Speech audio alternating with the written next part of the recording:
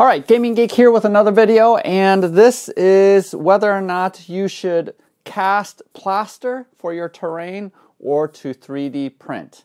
Now, there are multiple mold makers where you can cast plaster, but the one that I use the most is Hirst Arts. And if you don't know how to cast plaster using molds, go ahead and click on this video here that shows a little bit of the process as well as a number of the projects that I've made. So if you do not know anything about 3D printing, go ahead and click here of how I use my FlashForge Finder 3D printer. So let's go ahead and take a look at the pros and cons between casting plaster versus 3D printing. The first category that we're going to look at is the cost which will give you more bang for your buck between these two methods. The cost actually is cheaper to cast plaster and buy molds.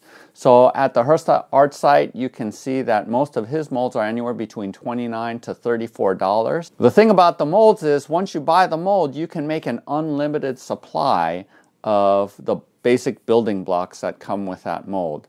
And I would suggest to you, if you are just starting out, to purchase Fieldstone Basic Block Mold number 701, as well as the Ruined Fieldstone Mold number 75.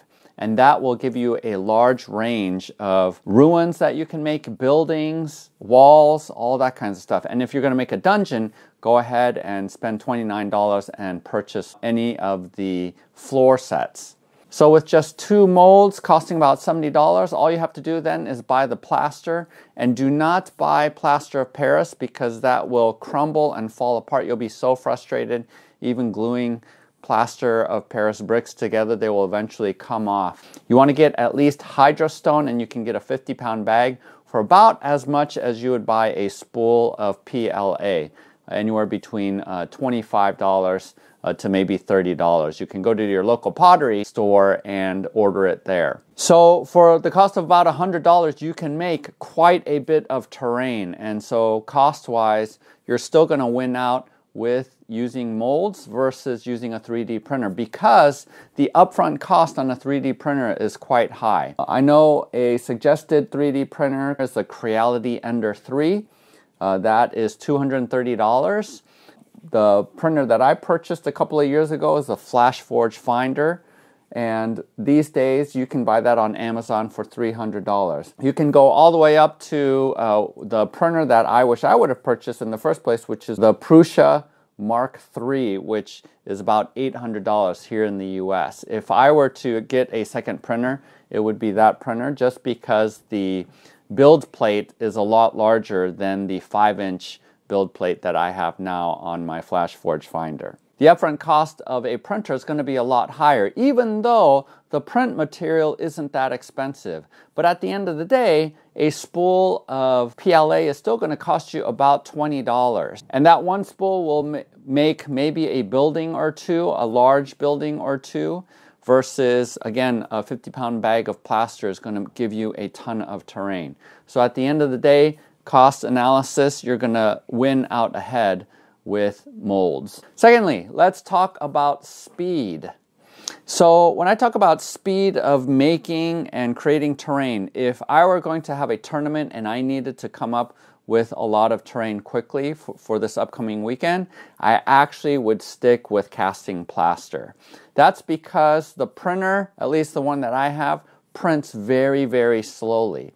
I'm currently printing out a tower, and it's probably going to take me three days just to print one tower. Versus the casting of the plaster, I can spend a day, uh, make about 15 to 20 casts with one mold, and have enough bricks to create something like this, this tower over here, uh, which requires 18 casts of that particular mold.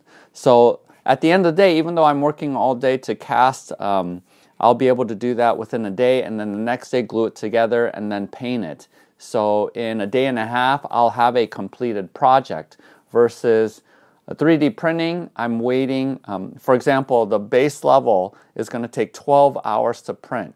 Now, having said that, obviously when you set the printer to print, you're actually not standing there doing something.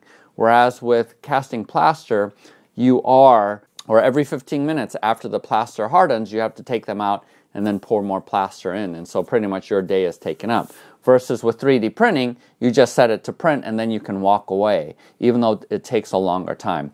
But for some reason, I found a little bit frustrating with how long it takes just to print out one piece and find it more satisfying actually the speed that I can have when I cast plaster and make a piece of terrain like this in a day and a half. Next, let's talk about ease. And in this area, ease is going to win out with the 3D printer. And that is because you have to build each one of these block by block. So think Legos. You have uh, really small blocks, usually an inch wide, half an inch tall, half an inch thick and you're building these blocks together, sheer number of building blocks and the details that you have might make the process complicated. Now, Bruce Hirst on his website has directions, and you can just follow those directions and come up with amazing projects.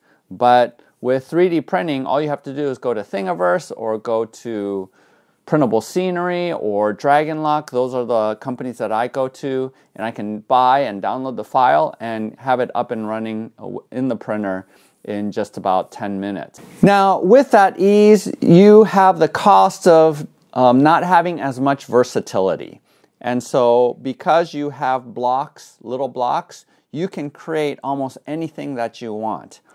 Maybe you can do that if you know how to 3D design on the computer. I don't know how to do that, so if I want a custom piece, uh, I'm stuck with just looking through Thingiverse or some of the other catalogs and hoping to find the piece that I need. And because of that, there's more versatility in having little pieces like this. And so even this piece that I made uh, and conforms to the original design that was for the game Rune Wars. And so every little piece makes it so that I can customize uh, these pieces. Uh, the other day I said, you know, I need some scatter terrain on the field, and so I threw these together really quickly and wanted an archway, so I made an archway. So really the versatility uh, comes with the smaller pieces that you have. So you're giving up the ease of using a 3D printer and just finding a design online with the versatility of being able to make any piece that you want. One thing that is a pain with plaster cast models is that it is a pain to store.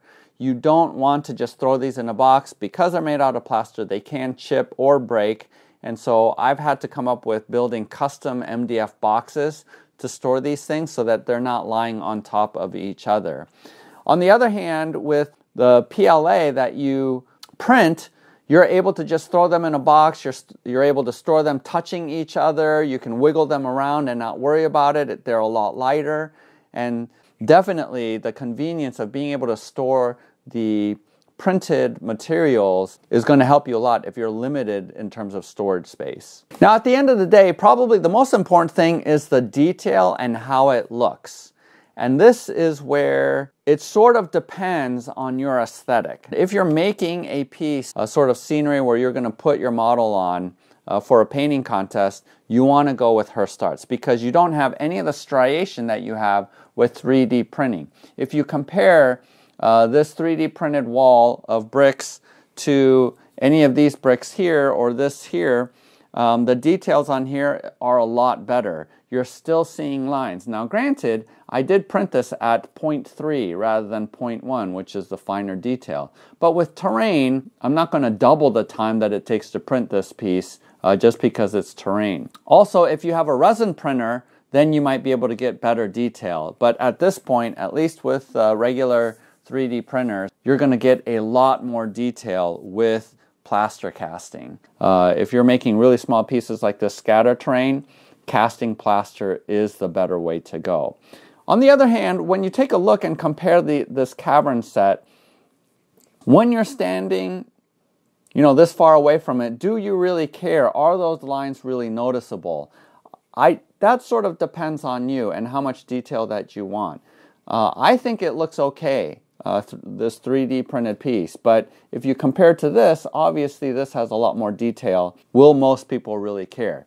I don't think so. I think most people will just say, hey, that's cool to have 3D terrain.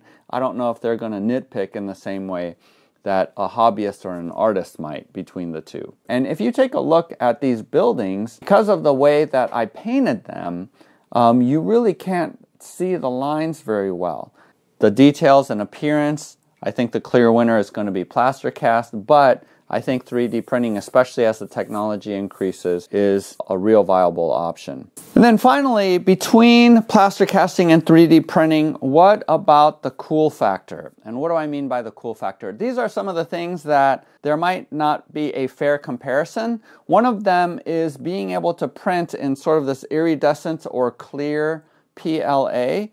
And so the water that's in this fountain, uh, this wall of flames or this flame gout that's coming out of the wall. Uh, I think being able to buy different kinds of PLA, and, and in this case, clear and iridescent, uh, gives it sort of that wow factor, that cool factor. As well, if you look at this video that talks about magnetizing these pieces, I think that's super, super cool. So being able to slide these pieces together uh, with magnets, being able to move this around. You can't really do that with the plaster one. It sort of falls apart when you try to move it around. Also, who buys a 3D printer and only prints 3D terrain for their games? So since I've got my 3D printer, I've printed all kinds of stuff, really nifty gadgets and things like that. My kids have a lot of things from the 3D printer. At one point they were giving away these little hearts that sort of twist around like a puzzle. There's that factor to take into consideration. So what are my conclusions? If you're looking into making your own terrain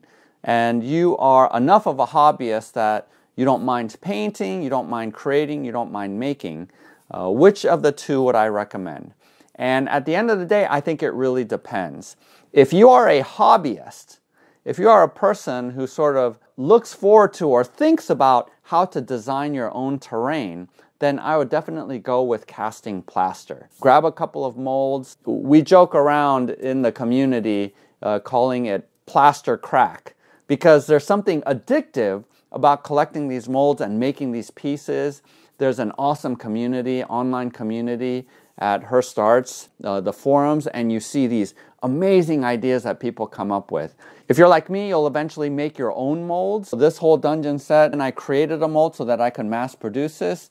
I also made a mold combining these together. I use this for CMON games. If you're a hobbyist, if you like painting your miniatures just as much or maybe more than playing games, and you like to be creative, definitely I think plaster casting is the way to go. But if you are more interested in getting pieces on the board so that you can play as quickly as possible, if you're interested in transporting your terrain to a lot of different places, that you're not necessarily interested in designing your own pieces, but being able to print, or if you have other uses for a 3D printer, I would definitely go this route. But either way, I think you're going to win. Either way, I think people are going to be really impressed uh, when you show a table full of terrain that looks really good and really awesome that you invested time in. 3D printing still requires you to paint the pieces. And so if you're not interested in doing that, or if you're not really going to have a lot of pieces, I would just suggest that you buy the packaged terrain.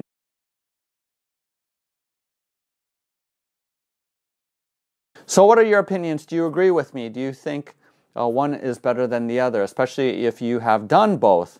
Uh, what are you predominantly doing now? Go ahead and comment below, subscribe and check out some of my other videos that talk about uh, both of these hobbies. We'll see you later.